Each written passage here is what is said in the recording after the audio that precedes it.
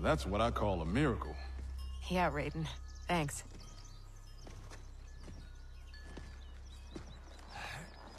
Grandmaster Hasashi, I humbly request the Shirai Ryu's hospitality.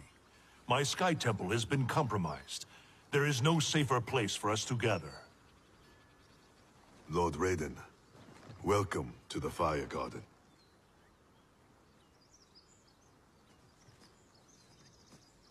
The Elder Gods are gone? Shinnok is Kronika's son?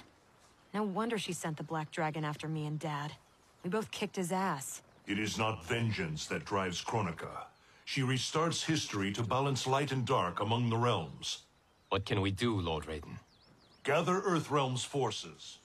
But that effort will be for naught if Kotal Khan's armies cannot join us. Cetrion informed me that Shao Kahn has captured Kotal Khan. We must spare no effort to free him.